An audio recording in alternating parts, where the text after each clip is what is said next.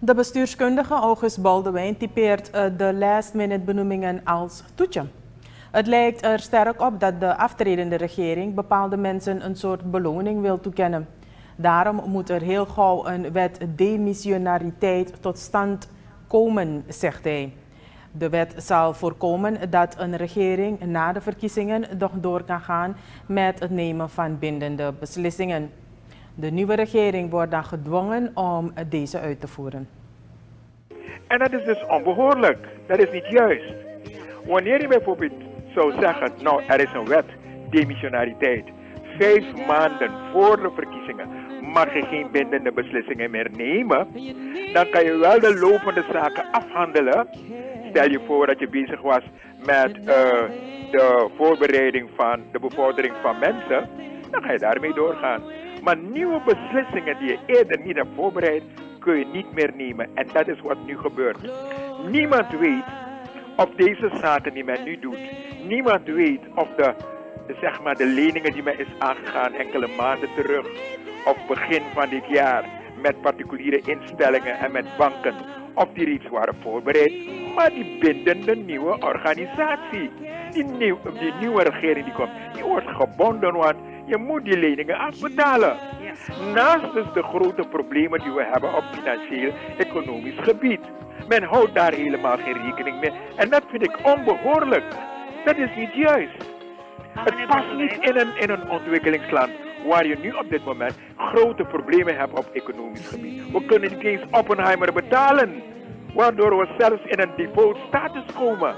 Alle soort zaken moet je toch wel nadenken. Je moet nadenken voordat je dus deze beslissingen neemt. En nu ga je mensen benoemen. Je gaat mensen bevorderen aan het eind van de rit. Maar wie gaat dat betalen? Dat zijn wij belastingbetalers, want de lonen van deze mensen die verhoogd zijn, dat zijn dus allemaal bezoldigingen die op het konto komen van de belastingbetaler. Baldewijn zegt verder dat voor 1987 regeringen na de verkiezingen demissionair waren. Dat is in 1987 gestopt bij de introductie van het semi-presidentieel systeem. Bij dit systeem heeft de president de uitvoerende macht en de ministers zijn als het ware zijn secretarissen, verduidelijkt de bestuurskundige. Vanaf de introductie van dit semi-presidentieel systeem is dat ding van oh, demissionariteit oh. weggevallen. En daarom zeg ik, er moet een wet komen. Net zoals een wet openbaarheid van bestuur. Die wanneer uh, de regering weigert om informatie te geven. En de afgelopen jaren hebben we dat gezien. Dat men gewoon verkeerde informatie doorgeeft aan het publiek zelf. Aan het parlement geeft men verkeerde informatie door. Dat de rechter die juiste informatie kan afdwingen van het parlement. Mhm. Behalve in die gevallen waarbij een buitenlandse mogendheid in problemen zou komen door die informatie te verstrekken. Maar de rechter kan dat afdwingen. En dit soort zaken moet, moet nu gebeuren. Ik verwacht dus van deze nieuwe regering dat ze tenminste deze twee wetten doorvoeren hoor. Want anders gaan we met diezelfde gebakken peren zitten. Ja. Baldewijn zegt dat het eventueel terugdraaien van deze benoemingen van bepaalde omstandigheden afhangt. Hij neemt als voorbeeld de benoeming van Melvin Bouva tot beleidsadviseur. Volgens hem kan de desbetreffende minister elk moment aangeven dat hij de adviseur niet meer nodig heeft. Ik, uh, ik hef die adviseurschappen op.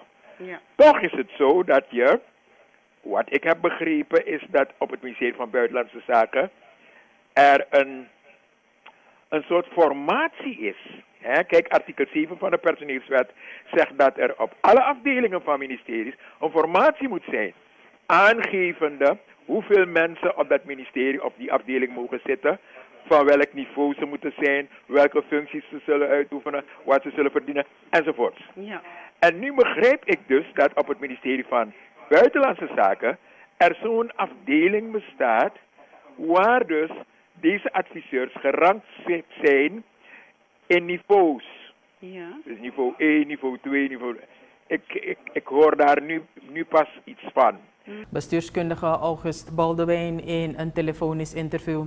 Hij wijst er nog op dat een adviseursfunctie slechts ter ondersteuning is. Wat de regering gaat doen met al die adviseurs, I don't know, zegt Baldewijn.